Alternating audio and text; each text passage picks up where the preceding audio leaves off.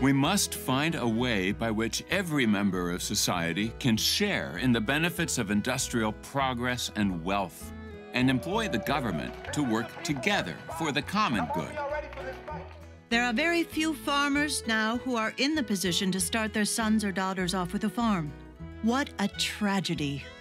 Haven't we enough common, ordinary horse sense to set about building a better social system than this? People need jobs, equality, education. The least powerful person in the country, understanding collective bargaining, can become the most powerful. And that is what politics is all about. Farmers and laborers, rural and urban working people, saw their dreams for a better life slipping through their fingers. They reached out and joined hands with neighbors and coworkers, forming social and political ties to create the farmer labor movement. But we have a glowing dream of how fair the world will seem when everyone can live their lives secure and free.